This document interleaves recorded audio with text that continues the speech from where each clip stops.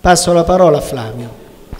Sì, cercherò di essere molto sintetico. Intanto la prima cosa che voglio dire è che noi al comitato dei sindaci non chiediamo assolutamente niente, per un semplice fatto. Noi da due settimane a questa parte abbiamo avviato un tavolo permanente fra i sindaci del territorio e le associazioni.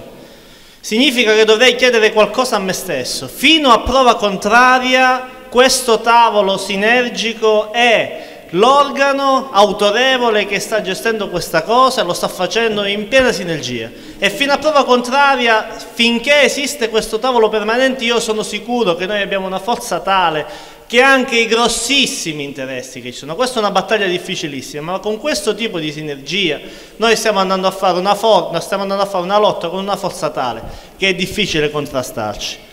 Partendo da questo punto di vista voglio fare solo un breve passaggio per capire quanto sia stato ridicolo quello che è successo il 29 febbraio uh, di fronte alla discarica. E non voglio dire niente di quello che è successo alla discarica, voglio dire quello che è successo qualche mese fa di fronte ai cancelli della Pertusola Sud di Crotone in occasione della visita della commissione Envi parlamentari europei sono venuti a visitare il fiume Oliva e la Pertusola Sud. Che cosa è successo in quella sede?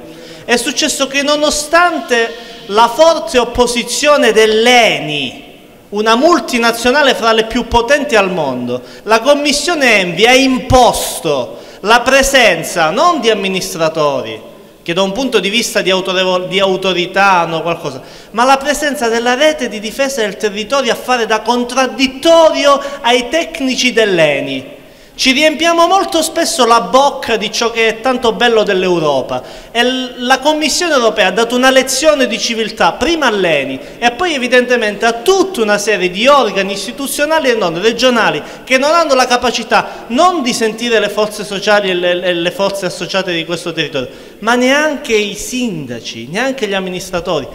Non è una questione formale, guardate, in questi giorni ho letto un sacco di cose formali, questa questione è sostanziale e c'è poco da fare. Chiuso l'argomento perché non penso sia quello il punto. Io vorrei dire solo giusto due o tre cose perché penso che il nostro dovere in questo momento sia quello di comunicare. Per capire quello che sta succedendo, io voglio citare una serie di eh, sovversivi incappucciati, eh, gente ideologizzata e cose del genere, che è il comando dei carabinieri, il comando del nucleo ambientale dei carabinieri. Che cosa dicono questi sovversivi e incappucciati? Dicono, uno per esempio, che in Calabria non si spiega perché arriva il 7% dei rifiuti speciali d'Italia. Non si spiega, lo dicono i carabinieri nella relazione alla commissione parlamentare, non si spiega. Loro dicono questa è una cosa inspiegabile, visto che non, non, non producono praticamente nulla, arriva già. E quella di Scalaceli è una discarica di rifiuti speciali. Un'altra, ma che cosa dicono anche, eh, così per, per, prendere anche al volo l'intervento che ha detto il sindaco di, un passaggio del, del sindaco di Mandadoriccio? Dice anche che nonostante le tonnellate di documentazione che noi abbiamo mandato, c'è l'assoluta immobilità delle procure di tutta la regione rispetto ai rifiuti speciali e rispetto ai rifiuti solidi urbani.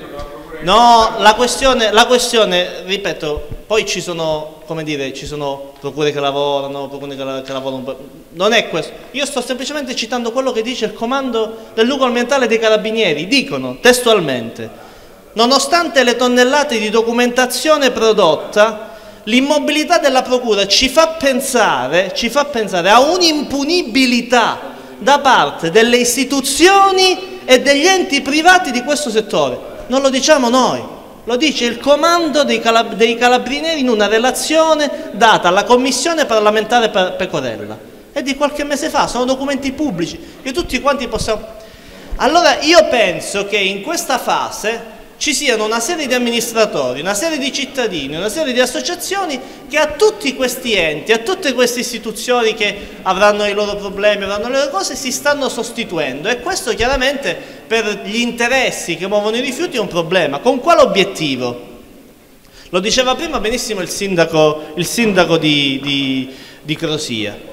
Qui in questo territorio non c'è un problema di una discarica. Io conosco e ho ho, mi sono interessato, ahimè, perché vivo qua, della discarica di Corigliano, che è saltata fuori così dal nulla perché l'ex sindaco Straface si era direttamente messo d'accordo col commissario Corigliano. Allo Stano c'è già e c'è nel cassetto, noi lo sappiamo, un progetto di raddoppio di quella discarica. Lo sappiamo, non, sono documenti che escono fuori, quando si vede che la situazione è un po' come dire, che non c'è qualcuno attento, si tira fuori, si butta fuori qualche ricatto. Eh, la discarica di Scalaceli.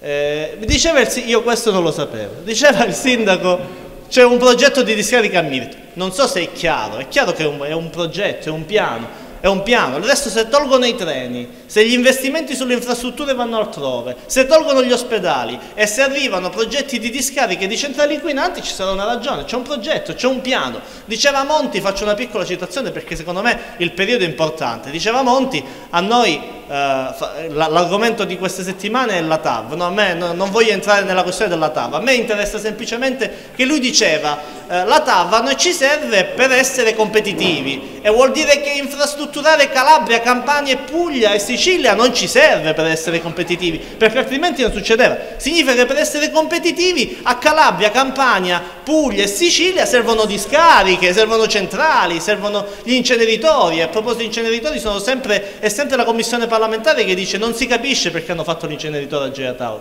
Stanno bruciando la roba delle altre regioni.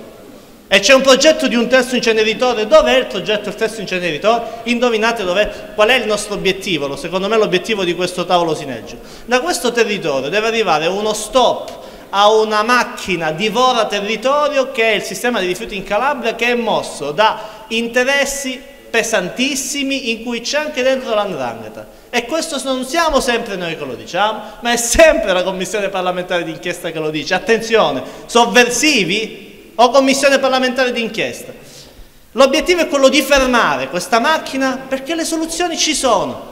Perché in Calabria il problema dei rifiuti tecnicamente è una fesseria. Con la densità che si ha in Calabria, con la densità che si ha in Calabria, con la produzione di rifiuti che si ha in Calabria, attraverso la raccolta differenziata, il riciclo e il riutilizzo, si risolve il 95% del problema dei rifiuti. Il resto può andare nelle discariche di servizio, può andare dove volete, ma con le discariche private che abbiamo adesso, sottolineo private, il problema con un ciclo di rifiuti, eh, con un ciclo di rifiuti virtuoso non è che sarebbe risolto ne potremmo chiudere 3, 4, 5, per cui l'obiettivo è quello di fermare questa macchina, cominciamo da qui a fermare una discarica che nel momento in cui si apre poi diventa un problema per tutto il territorio e per i figli, e per i figli dei nostri figli, e per i figli dei figli dei nostri figli, perché il territorio, queste cose come le discariche, non si fermano quando le chiudi, cioè se noi chiudiamo la discarica di Bucita, il problema non è risolto, quella cosa lì continua a pesare sulla salute dei figli dei nostri figli e così via.